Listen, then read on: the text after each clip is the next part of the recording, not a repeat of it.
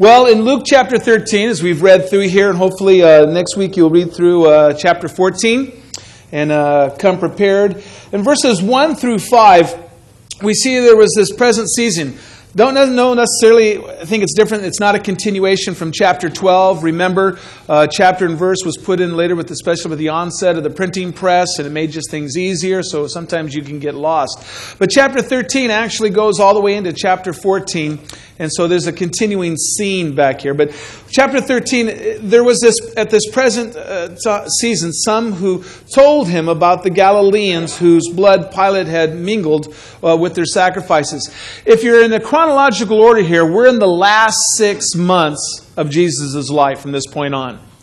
This the, it's already been going around. He's already been ministering for about three years. And so, again, statements that will be said three years of walking with Jesus, we're going to see other statements where, again, the disciples are continuing to arguing of who's going to be greatest in the kingdom. Didn't they already like approach that subject a while back?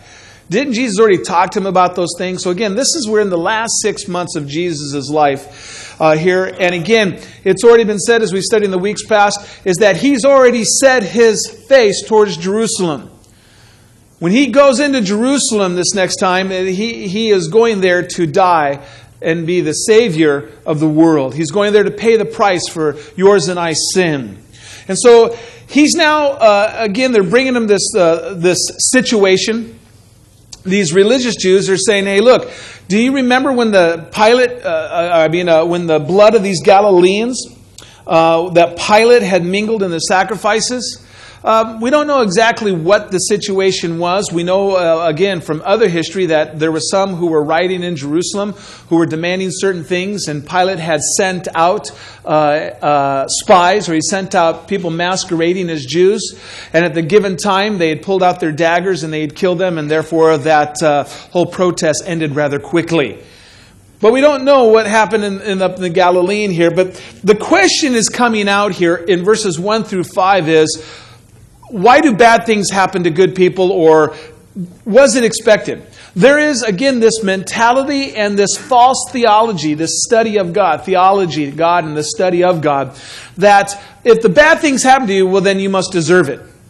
Oh, you, you, can look at that as far as in Hindu, Hinduism as well, and Zoism, where again you must accept this and embrace this. Also in fatalistic Calvinism, if these things bad happen to you, that was destined and that was God's will, and you need to accept that. I don't suggest this. Sometimes I threaten people who be that way. Say, "Well, I'm going to punch you. I'm going to break your nose right now. And there's nothing you can do about it because I'm destined to do it." All right, it's just you have to accept it. I mean, I would like not to.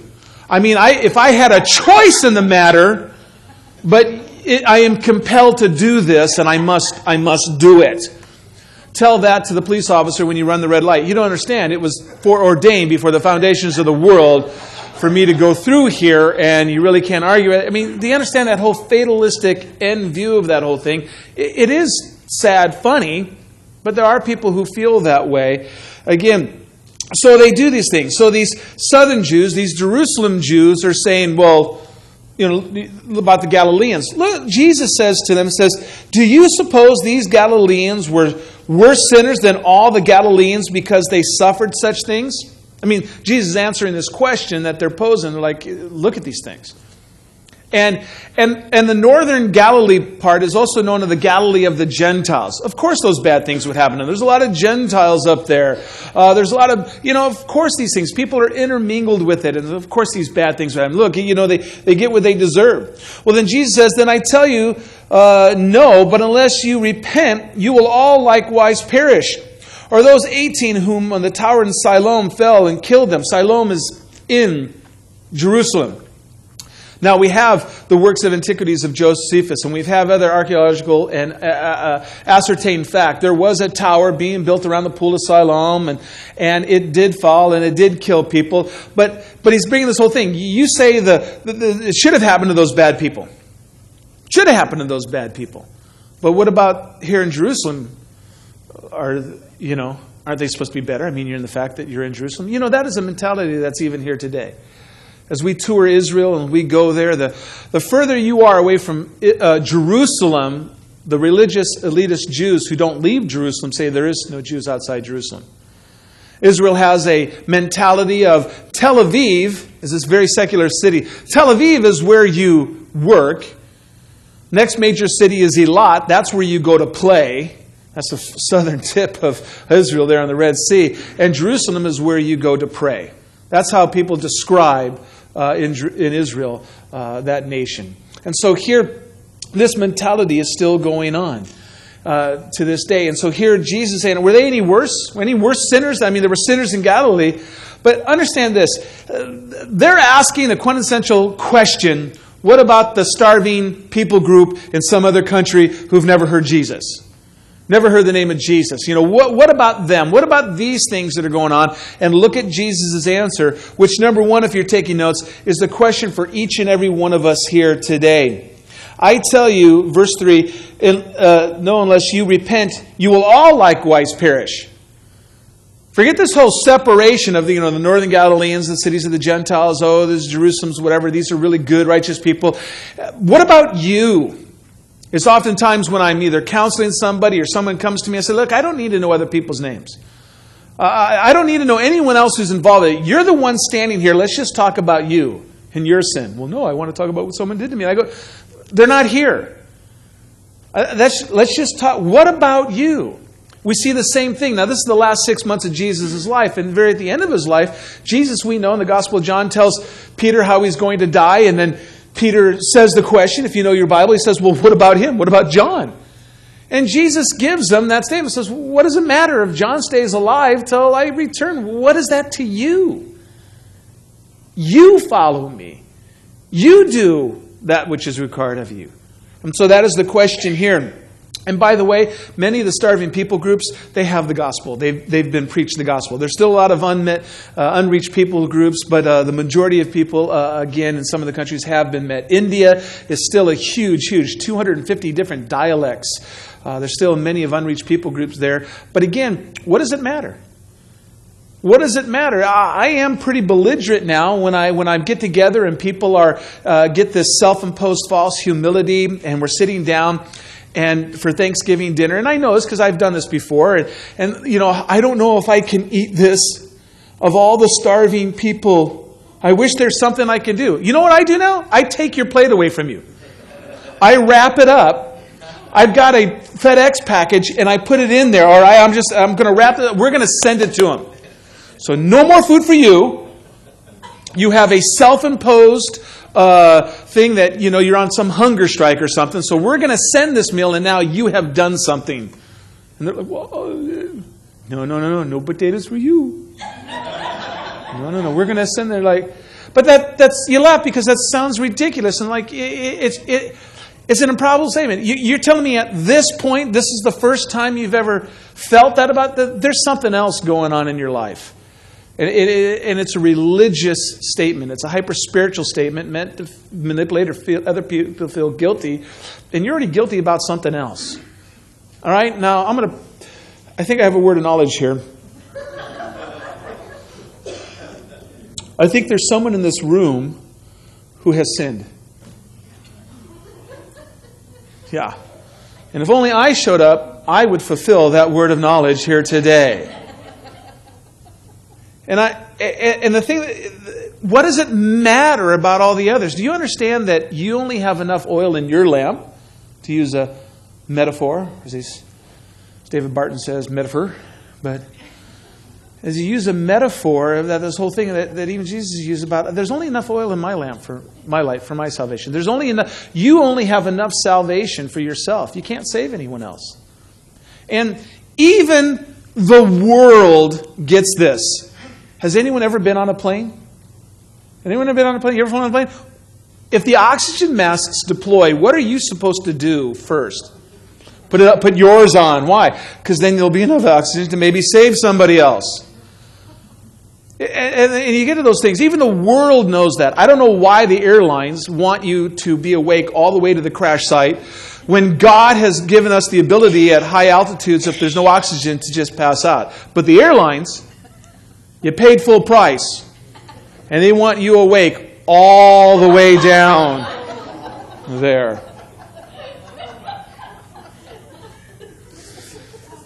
What about you? That's what Jesus, and again, there's all these hyper spiritual questions, but the answer this really comes down to what about you? What does it matter about the Christian next to you? What does it matter about the world around you? What does it matter about what they get or don't get or whatever? What about you and your relationship with the Lord? How does this pertain to you? And he says, unless you all, you dirty Galileans from the Gentile cities up in the north, and you religious, pious Jews here, what does it matter? You're all going to perish. You're all, unless you all repent. And so here, he says, I tell you, verse uh, 5, I tell you, uh, no, but unless you repent, you will all likewise perish.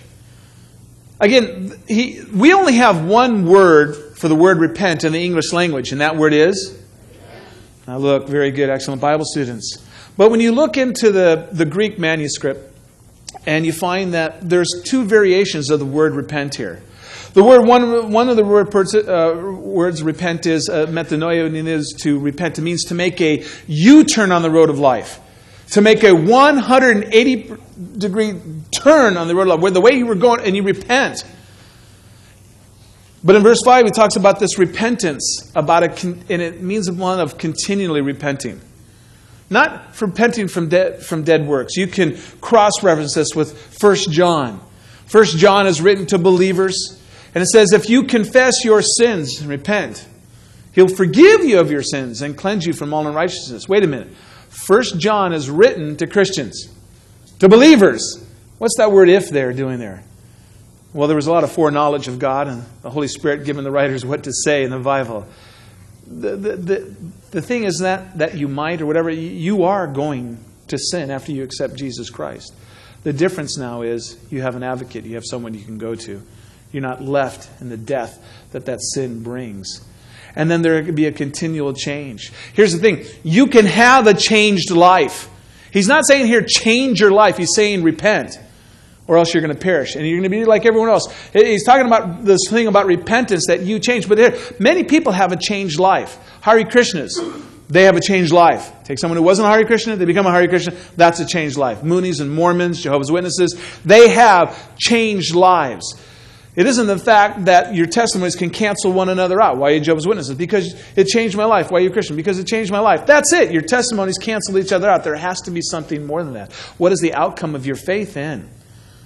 And for you and I as Christians, we can go much deeper than that. It is because of Jesus Christ that I have a changed life.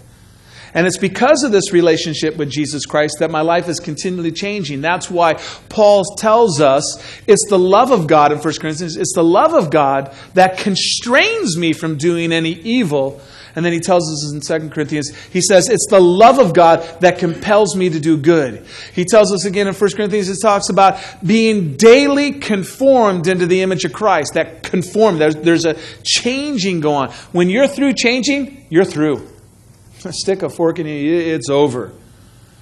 When, when the, there's nothing left to change, there is continually chipping away. If God would have given me a, a, a list of all the sin that would be me getting rid of in my life over the course of now 28 years of being a Christian, there is no way I would have signed up for this gig. He says, by the way, you want to become a Christian?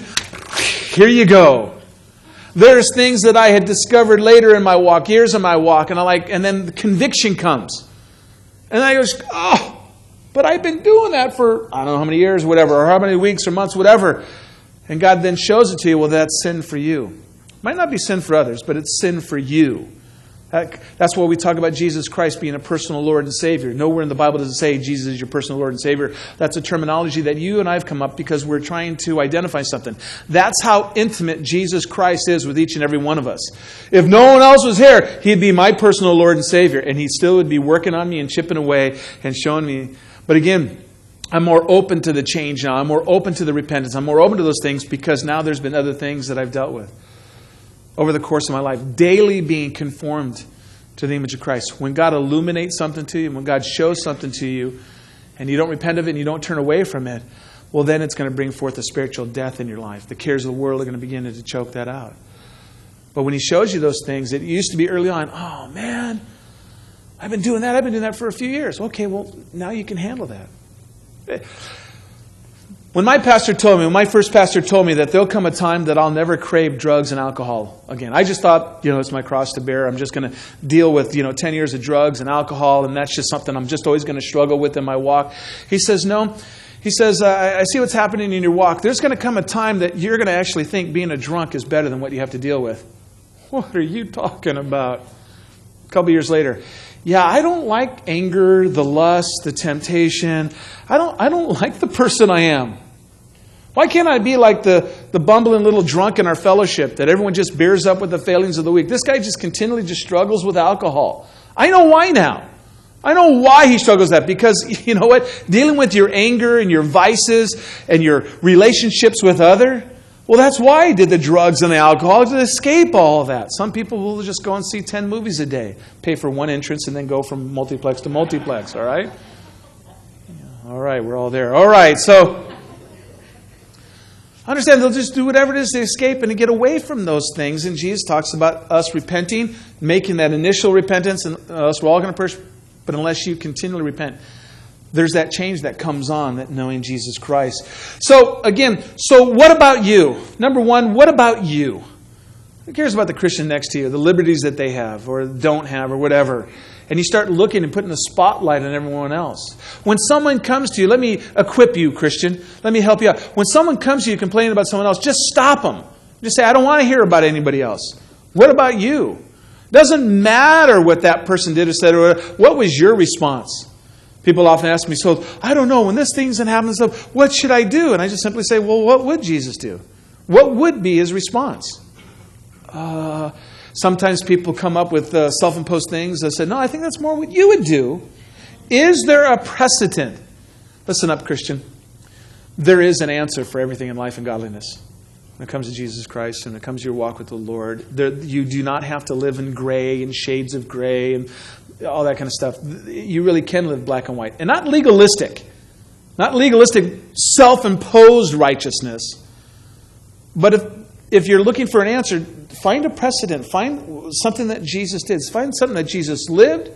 It was done in the book of Acts, and it was encouraged throughout the New Testament letters. Then here's a new word for you hermeneutics.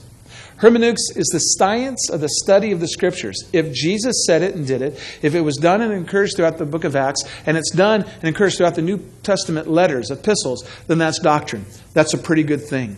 And it's a pretty good thing because then you can look at hermeneutics. Why did the Apostle Paul only say to the Corinthian church that the women need to have their head covered? But he didn't say it to any other church. Well, then you find out the context of what was going on there the cultural things and the things that are happening there, and you find out why. Uh, again, don't be a one verse Charlie or Charlotte. Don't don't be that thing is that well I've got this one verse and that's when I'm going to do these things because then it becomes then what happens is there gets this one verse and there's this self imposed self righteousness that comes that I'm following this one little verse and doing these things. Man, that's how heresy happens. It starts with a little bit of truth, and man, then it just gets way off.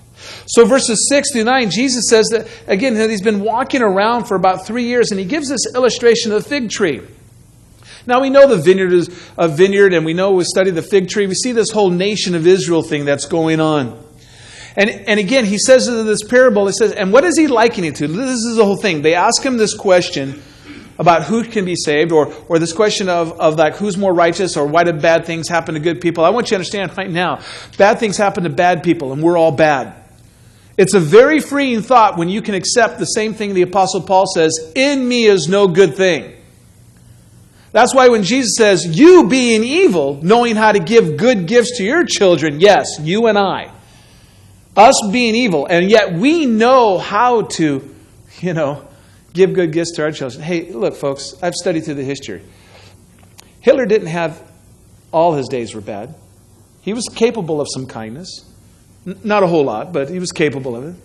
So was Genghis Khan, so was Hitler, so was Mussolini, so was, you know, Attila the Hun, so was. there are people who are capable, but when you say you're trying to hang your hat on just, you know, one good day or things, you, you have to look at the whole thing there. So uh, understand this all of us are evil, and in me is no good thing. So that the thing that which is good should be Jesus Christ. That's the freeing thought when we think that we're good. Even Jesus even said it when they said, Good teacher. he says, No one is good but God. They were trying to flatter him and butter him up, and no one's good but God. That's why the Apostle Paul can says, In me is no good thing. And yet we've seen him do a lot of good things. A lot of churches planted. A lot of people come to know the Lord. And those are good things. But you're looking deep down in the core of the heart. From the mouth will flow the issues of the heart. So verses 6 through 9, he gives this parable of the fig tree. And again, Jesus now has already been around for three years. And this whole parable is like, look, he's looking and he's coming and he's looking for fruit after three years. See, we look at this nation of Israel, and for three years Jesus has been walking around and he's still continuing to look for fruit. What does he find? He finds the faith of the centurion, finds the faith of these Gentiles.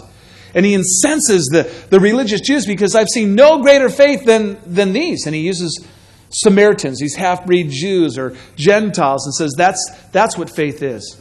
And they get incensed. Why? I can't believe you do say something like that.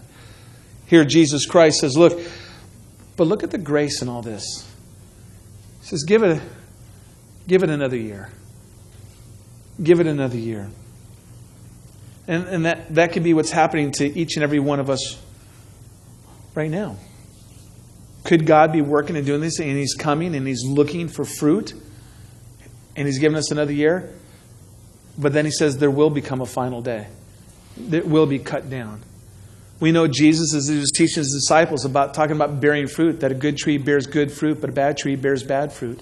A good tree cannot bear bad fruit, and a bad tree cannot bear good fruit. Thus, every tree that does not bear good fruit is what? Cut down and thrown into the fire. Thus, by their fruit, you will recognize them. I cannot judge any person's salvation here, but I can certainly inspect the fruit, according to Matthew 7. I can certainly look at the fruit and make some assessments and make some judgments. That, again, God's word never says not to judge, it says just be careful how you judge. People say, hey, man, Bible says thou shalt not judge.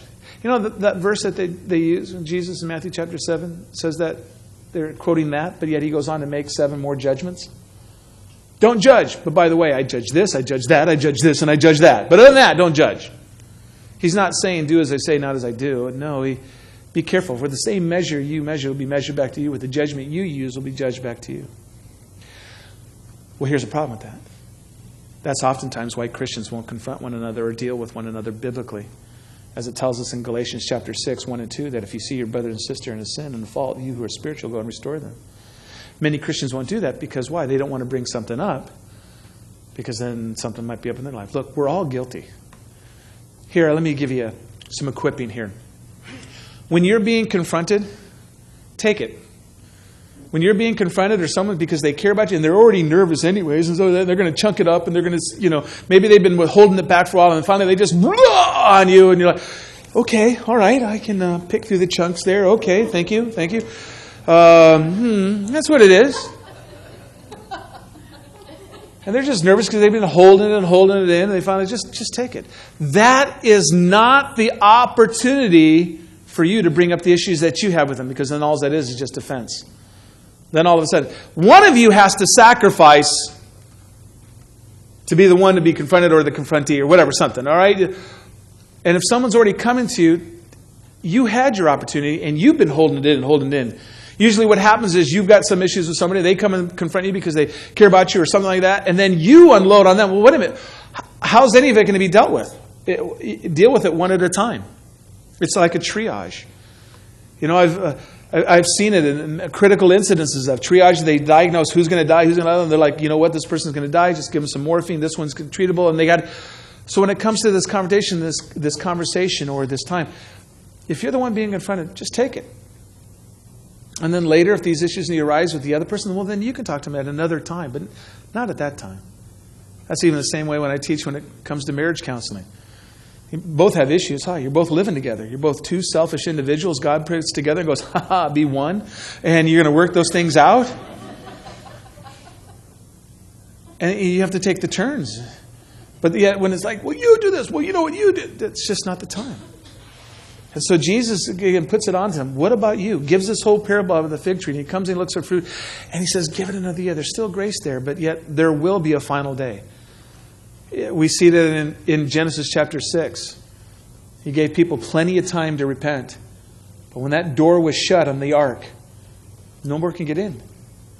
And I'm sure there was a lot of screaming and yelling. We believe you now, Noah. Well, you, you had to get in before. And so here, verses 69, we see this. Look at chapter uh, 13, verses 10 through 17. We see this woman for 18 years is bent over in contortion. Look, before I go on with this, make no mistake, there are some infirmities that are demonic.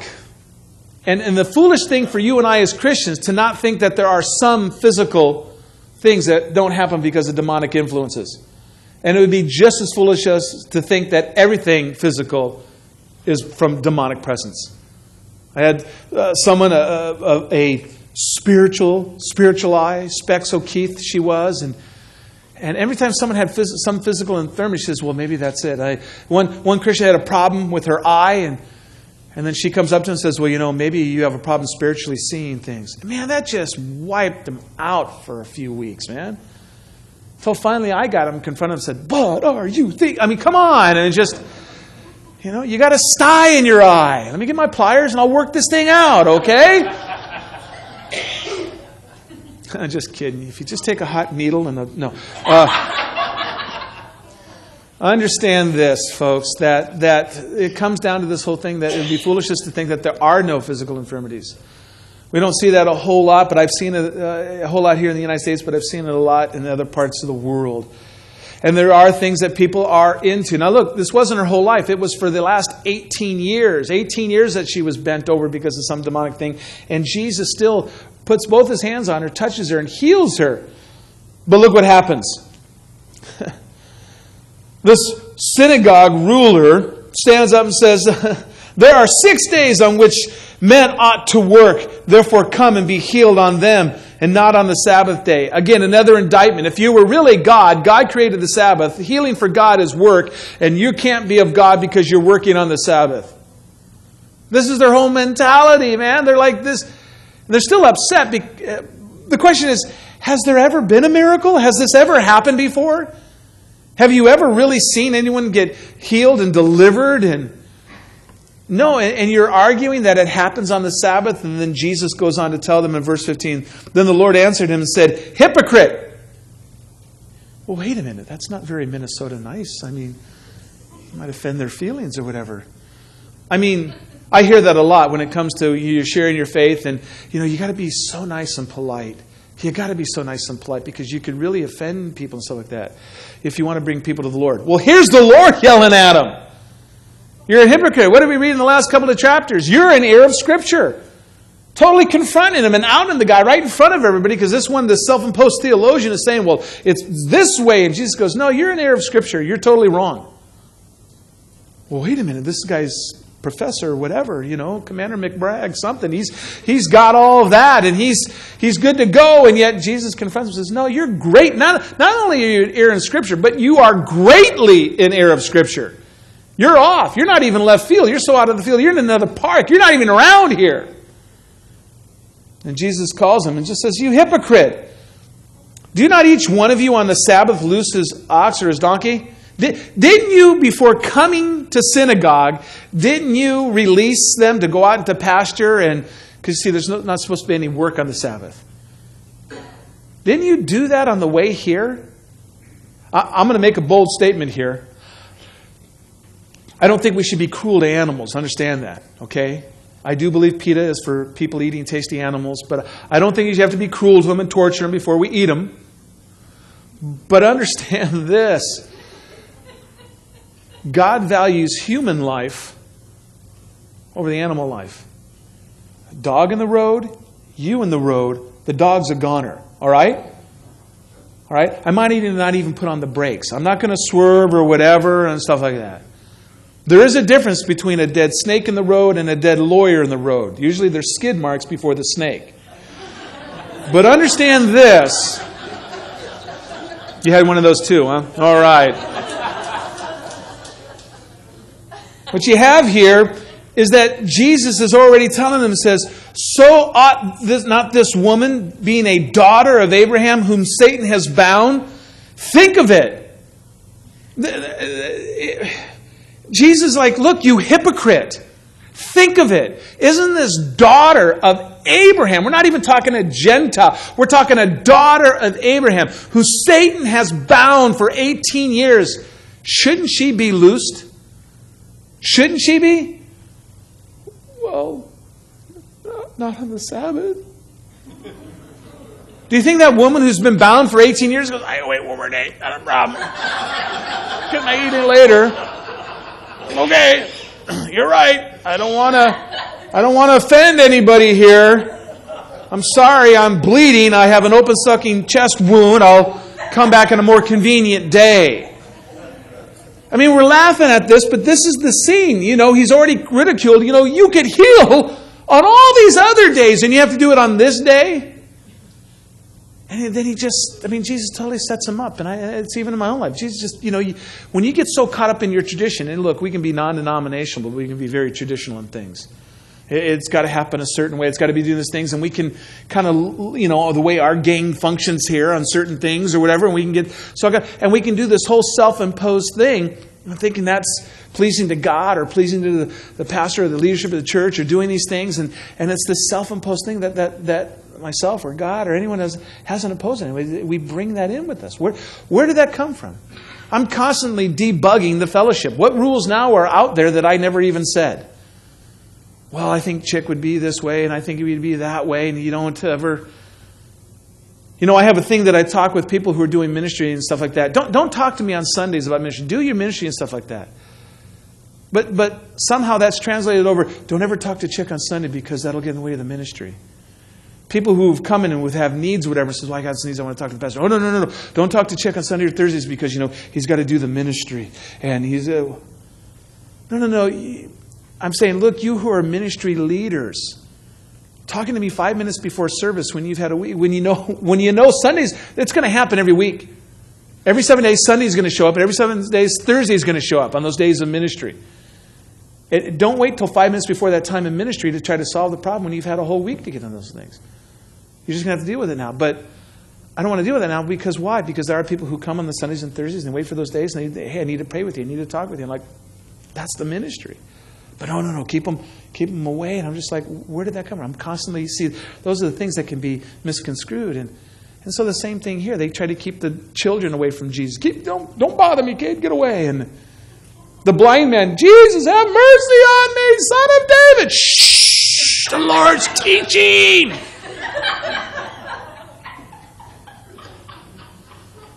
What does he do? Hey, Jesus, son of David, have mercy on me. Oh, man. Can someone get rid of the blind guy? Take him by the hand. This is going to blow our gig. Hey, I'll do it for Jesus. I'll do it for Jesus. Jesus is busy ministering to the people who can see. And, uh, but you understand, we laugh because, yeah, myself and you included, we, we do these self imposed things that are tradition. And Jesus is coming against all this tradition. And when he said these things, look, she should be loosed, and he loosed her. And again, we've seen other healings. Jesus isn't into formulas. With the lepers, he cleansed them, but they, when they walked away, came the healing. Others, he spit and put mud in their eyes, and some he just spit on, and some of the others he kissed, and some of the others, and here he put both hands on this woman right in front of him on the Sabbath and healed her and touched her. You see, it goes all the way back. You know, what evil did she do? Even his disciples, when they come on one blind man who got in the way, they, they said, Well, who sinned, this, this man or his parents? And Jesus looked at him and says, Neither.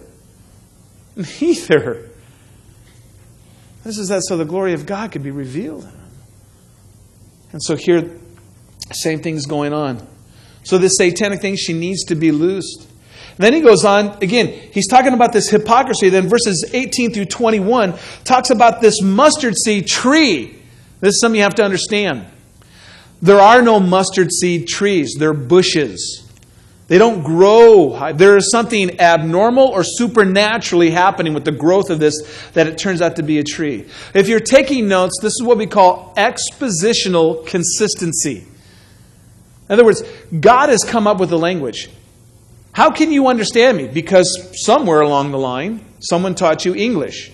I am thoroughly convinced the reason why it takes kids so long to actually verbalize and speak the English tongue is because we say ba ba and wawa and pee pee, and that's what oh, baba, wawa, and that's what they do. Maybe talk to them in full sentences and see what happens. Their first word is still going to be no. But there's a form of communication that's going on here And the same thing with expositional consistency.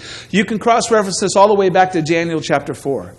The mustard seed is the littlest of the seeds, seeds, and it grows into a bush, but this abnormal or supernatural thing. And he says, What shall I liken the kingdom of God? Well, and he's saying, Look, this is how it should be, but this thing grows up supernaturally. What do we already know about the birds? They're evil. They're the birds, the same birds that are used in, in uh, Daniel chapter uh, 4, are the same birds that Jesus talks about in John, where they come and they swoop up the seeds that is planted in the field of someone's heart, and they come and they, they're, they're, they're evil. So, this with expositional consistency, we can look at this parable, and what is he saying? The same thing can happen, and has happened, in the church right now. There's an unnatural and a supernatural growth, and it can grow so large that birds, the evil things, can come and rest in it. And don't think that that can't happen to this church. It already has happened, but don't think that can't happen to the church universal. The church universal has killed people over the Word of God. Tyndale was killed by supposed church leaders because he translated from Latin into English the Bible, and he was considered a heretic.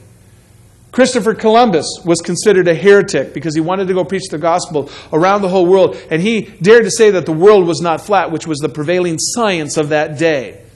Science finally caught up with God. And the world is round because he said in the Bible it talks about the earth being a sphere, and what is a sphere, and he knows these things. And if there's people on the other side of the world and he's got them there, then they need to know about the good news of Jesus Christ. Don't believe the revisionist history that they just wanted to rape and pillage the country and the, and the world and bring smallpox and kill off nations of people. I think the Native Americans are rethinking their immigration policy now at this point. But, but before then, Christopher Columbus wanted to preach the gospel. You read his autobiography. I've been reading it lately, so that's why I kind of know some of the stuff about that. But he calls them as hypocrites. And then he goes on to give these parables and these examples. And again, we know that the birds equal sin and they're evil. And we can see this. There are evil people who come and rest in the church. Just this weekend, watching uh, 48 hours of a minister who wanted to get rid of his wife and he kills her. And then he's denying it all along, and then finally his mistress comes clean. A girl in his church that he says, you know, it's okay to date your pastor. I'm going to get rid of my wife. And they show the emails and all this stuff. And this guy's guilty. This guy's a, a minister. Then, if that's not the bad, uh, worse off, then I'm watching America's Most Wanted. You know, uh, in between study and time. I'm watching uh, on Saturday, watching America's Most, and there's a cult leader, this guy, and all the things they do in the church, and they raising up the Bible and stuff. There are evil people. There is this heresy, this health and wealth gospel that still is around. God wants you healthy and well. Well, praise God that those people who are the founders of that are dying off. Because they, you know, what is it? He just had the symptoms of death. Really not dead. I mean, what else can he claim there?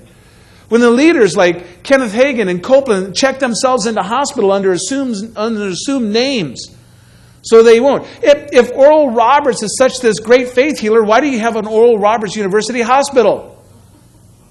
Shouldn't it be just check in, show your insurance card, healed, and you're out, and a quick coin for that? I mean, there's these oxymoronic things that are these statements there. And, and now, after 20 years, I'm watching all these people that they have these certain doctrines. Look, we live in a fallen world. I am going to be with the Lord someday, and I can tell you, being 48, 47 years old, some of me have already gone up ahead, and it's waiting for me. There are some things I've already given up in my body that are waiting for me there. There are those who will come into the church and they'll rest in it. And there's an unnatural or there's a supernatural growth that happens. People come to the Lord in this body of Christ. But what does he liken it to? And then he goes on to leaven. Leaven is always sin. I understand this about leaven it corrupts. It doesn't just puff up, it corrupts. It's corruption. The leaven of the Pharisees, Jesus is always warning about. The feast of unleavened bread, you're supposed to get all the leaven out of the house. Leaven corrupts. That's how it, it permeates it. But yet, I have heard, I've read the commentaries of others who've taken this passage and saying that's the church of Jesus Christ. And, and, this, and there's this strange theology that's still around called the dominion theology. That the church is going to get so big, it's going to usher in the kingdom of God because we're going to have such a righteous, perfect life and we're going to root out sin. Why is that still around? You know, the murder rates are still going up from city to city. I have never once seen in my 47 years of life, I've never seen where this world has once ever gotten better.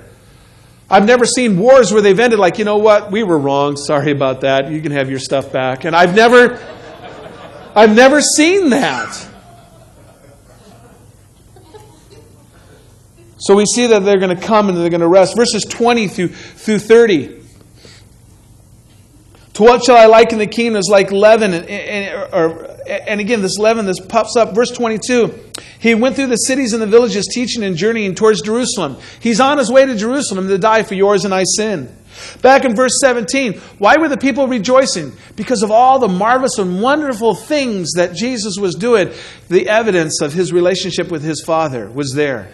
That's what people need to rejoice over us that they may see our good deeds and our works, and then what? Glorify our Father in heaven. We are not to be doing our good deeds. Some people get this false sense of spirituality or, uh, or humility that they can't be seen doing whatever, whatever, because then. The, no, look, if you're going to be seen, make sure they give glory to God. It's wrong when we're trying to do works of righteousness and do these things that God commands us to do and desires for us to do, and then we take the glory for it. That's wrong. But if we're out there living our lives and, and Jesus is the Lord and Savior of our lives, we're going to be doing good works. We're going to be doing those things.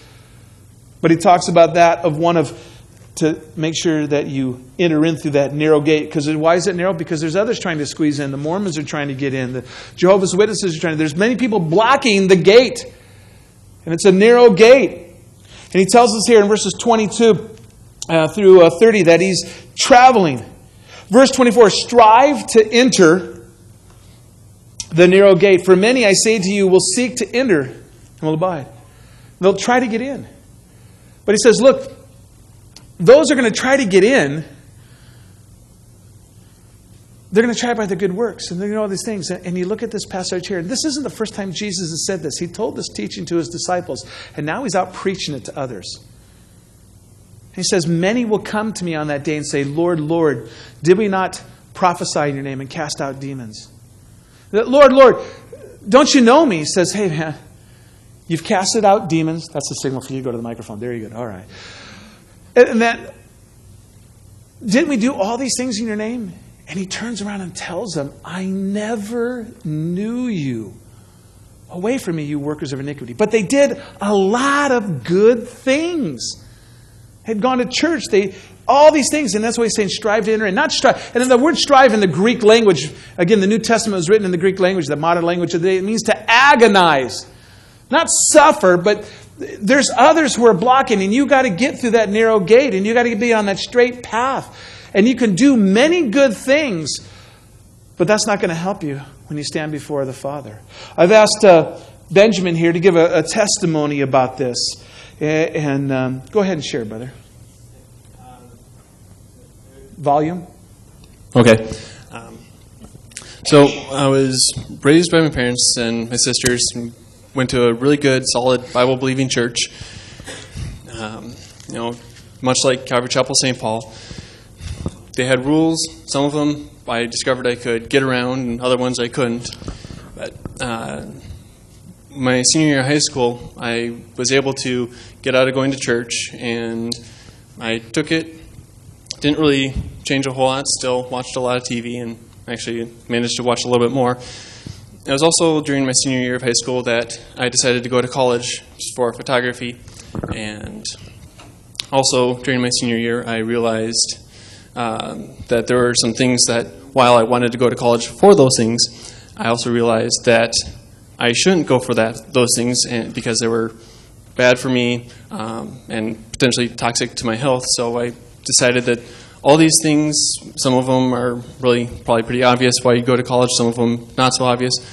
I put them aside and continued to um, just live my life. And then the day before classes started, my senior year high school, or in college, I realized that there is a God and that I should go to church. I found a small little church in the northwest suburbs and was active there.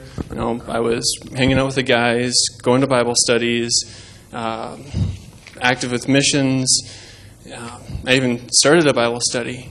You know, so there's all these things that I was doing that was really good. And it wasn't until I moved in uh, to an apartment off of White Bear Avenue and I found Sojourner's Cafe. The first person I recall meeting there invited me to come back the next week to an anniversary party and said there's going to be free food. I looked at him and thought to myself, free food? Seriously? You just met me and you're inviting me here for free food. You know, I decided I was going to take him up on it because why should I deny free food, right? but I did the Minnesota nice thing. I thought to myself, well, they don't know me. I don't really have the right to be here, so I can't get free food. So I intentionally showed up late, waited until I was certain that nobody else wanted any food that was there. Then I went through and I was like, all right, well, there's still plenty of this, so I can have some of this, but there's not a lot of that, so I need to leave that alone, even though I really want some. I know this to be a Calvary Chapel no no. if, if you're at a party and you're hungry, eat and enjoy yourself. Just have fun. You know, but it, hanging out at Sojourners, it ended up that I would be there with the guys, and they would encourage me and rebuke me according to Scripture, which is something I was taught my entire life. And I like, this is interesting, you know. So these guys are living this, and I started coming and wanted to join the intern program because I thought to myself, well, hey, you know, there's this intern program. This is what you know people who are in leadership are doing. So I go there. I'll you know learn the doctrine of Calvary Chapel St. Paul. I'll learn the words to use and hopefully be able to fit in really well. I ended up not joining right away. It was a little bit later, but um, about halfway through, or sorry, about four months into coming to Calvary Chapel St. Paul, I started a program called Personal Witness Training. It was about halfway through this that a guy I was sitting with, a brother, he told me that there's, he'd never heard me say that there was a time when I had accepted Christ as my Savior. Right here, I knew I was busted because you know, I've, I've been living my life good, and in my mind, I was saved. And up until this point, I never questioned it. But as soon as he said it, I realized that I needed a Savior. And I realized that all the good stuff I did really didn't matter if Jesus wasn't my Savior. This was also really hard because if I was wrong, then that meant that I was wrong about heaven and hell, and that really scared me. Um, and you know, so it came down to the fact that I had been following Christ as my Lord for three years before that, and it was that night that I admitted the fact that I needed Christ as my Savior. And we all need Christ as both our Savior and our Lord. Amen. Thank you. I asked that night at personal witness training, as we were going through a few weeks of it, and, and I teach a couple of questions. Does your relationship with God make you sure you'll go to heaven when you die? And what would you say God's requirements are for you to get into heaven? I said, now, you haven't gone through the whole program, but has anyone here had an opportunity to lead one, someone to the Lord with those questions? And Benjamin raised his hand and goes, I did. I go, who? And he goes, me. what? Yeah. Very good, very good. So, he was his first convert. Have, you, have you been discipling him well? All right, very good. Because we always say lead one person to Christ and disciple him, so very good. All right.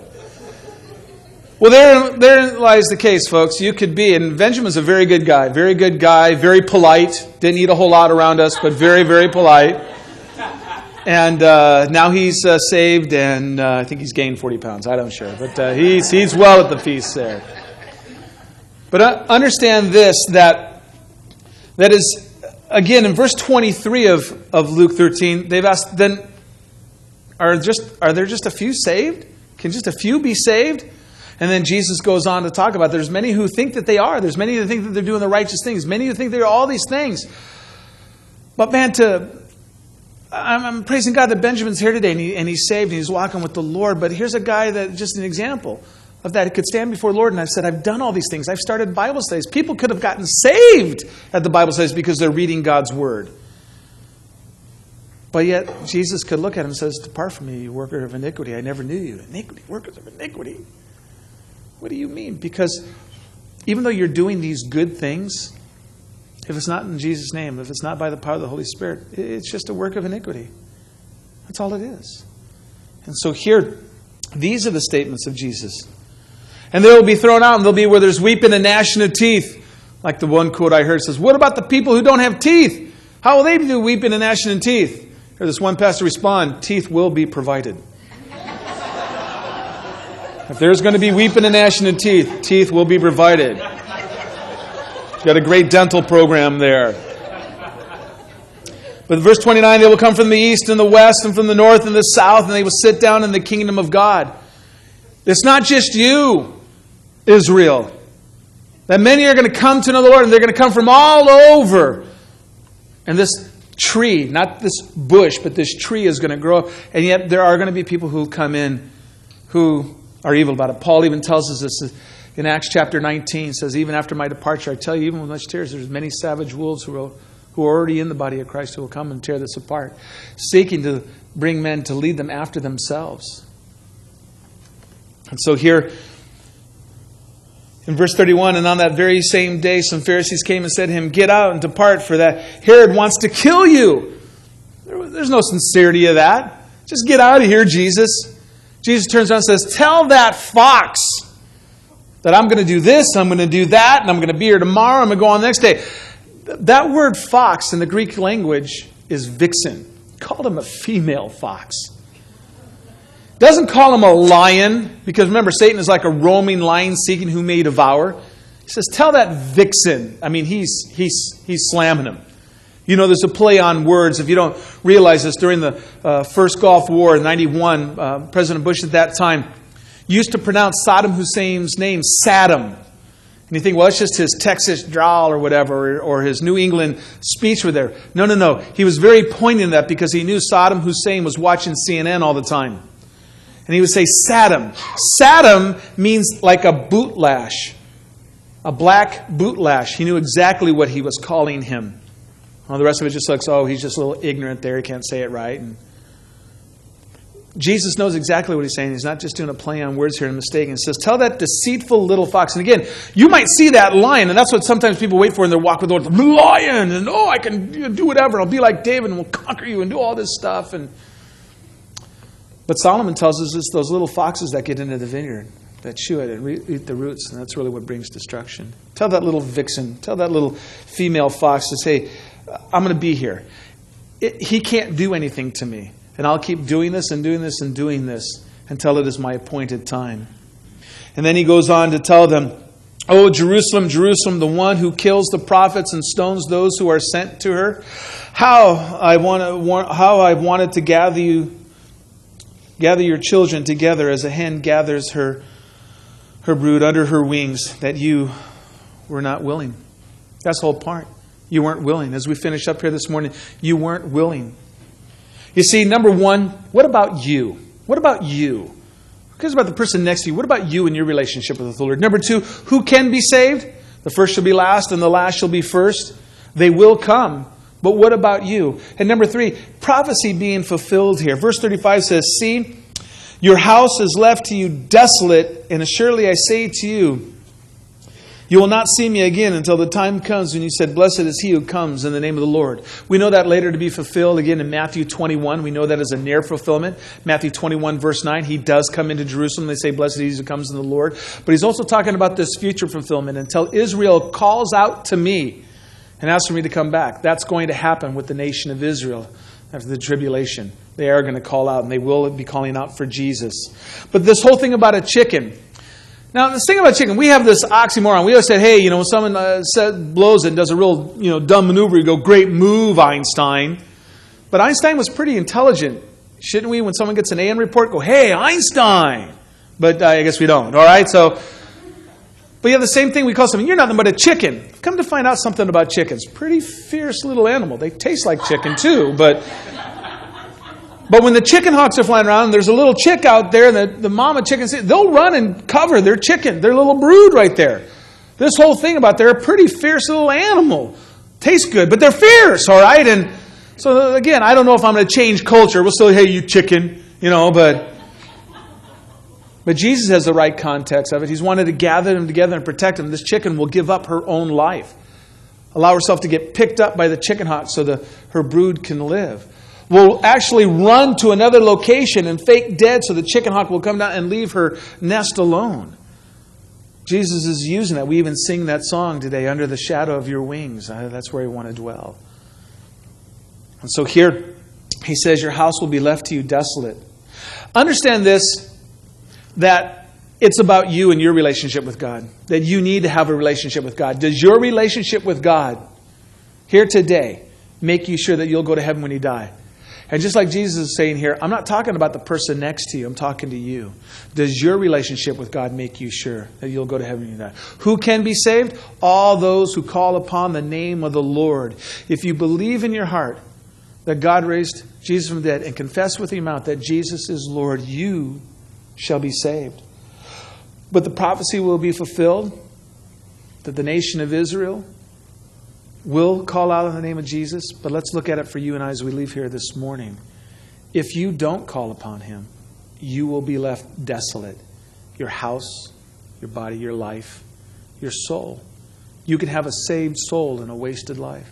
You need to call out upon the name of Jesus Christ and receive him in his gift that he's just six months away in our scripture reading right here from paying the ultimate price and laying down his life. The house was left desolate in 70 AD. Jerusalem was sacked. It was destroyed, and the temple is gone. And there will be a third temple being rebuilt, just as prophecy is, has been foretold. And it will happen. But yet, don't let your house be left desolate. If you walk with him, you can do this on your own. Read Leviticus chapter 26, the promise he made to the children of Israel. If you walk after me and follow after me, you're going to get your socks blessed off. Well, that day and age, your sandals blessed off. But if you choose to walk contrary to me, I'm going to lay things desolate in your life. They're not going to work. Matthew 21, verses 41 through 44 talks about whoever falls upon the rock shall be broken, but whomever the rock falls upon shall be smashed. What side of the rock do you want to be on? And, again, that squeeze play of the Lord. God loves you enough that He'll come after you. Will you please stand with me and let's pray? Heavenly Father, thank you that you are the Lord and Savior of our lives here today. Lord, if there be any here that don't know you as Savior, you, Lord, that they would choose you today. That you're a good and gracious God, that you are, uh, again, looking at that fig tree and you're looking for fruit and you're still giving us an opportunity. But Lord, those days will be cut short and that there will be an end and there will be a final day. So, Lord Jesus, that there would be no one here today whose house would be left desolate, that, Lord, that they need to call upon you. Blessed is he who comes in the name of the Lord. That, God, that you forgive sin when we ask you, and that, Lord, that you redeem us. Lord, for all of us here that do have that relationship with you that makes us sure that we'll go to heaven when we die, Lord, may we just be encouraged and equipped that much more today, knowing that you and how much you love us, and then in turn how we can just live that life of gratitude, that daily we can be conformed into your image. We praise you, we thank you in Jesus' name. Amen.